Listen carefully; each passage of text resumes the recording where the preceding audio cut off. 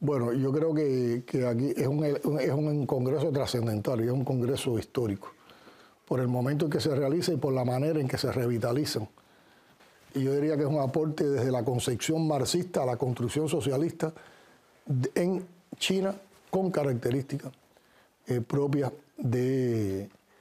del país. En primer lugar está haber podido alcanzar el, el enorme desarrollo integral que tiene China y proponerse ir a una nación moderna, socialista, bajo la conducción del Partido Comunista Chino en la nueva era. Pero yo creo que es una proyección de visión muy avanzada, muy adelantada, muy desarrollada y que abre para nosotros también un referente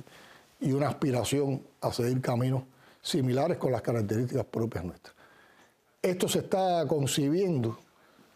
y hay un pensamiento, hay un hilo coherente en el Congreso, se está consiguiendo bajo una dirección del Partido Comunista Chino. Se está planteando no renunciar a la construcción socialista,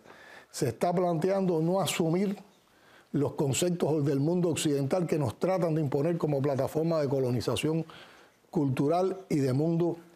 hegemónico. Por lo tanto, es una respuesta también buscando multipolaridad en el mundo. Pero al hacerlo desde la conducción del partido,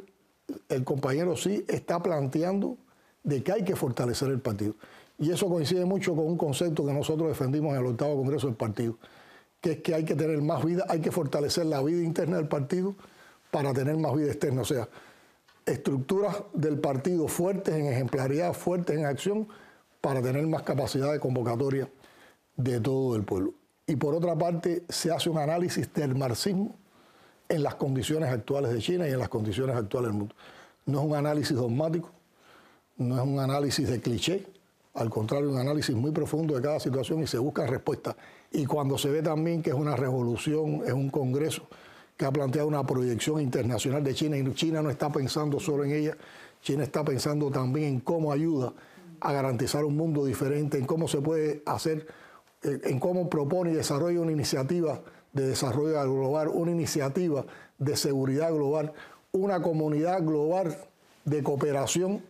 cuando se ve esos pensamientos tan altruistas, tan inclusivos, tan emancipatorios, yo diría tan adelantados, eh, uno se, da cuenta que también este Congreso se proyectó pensando en, en los países pobres, pensando en los países del sur, para que los países del sur tuviéramos también derecho a nuestro desarrollo, a nuestra autodeterminación,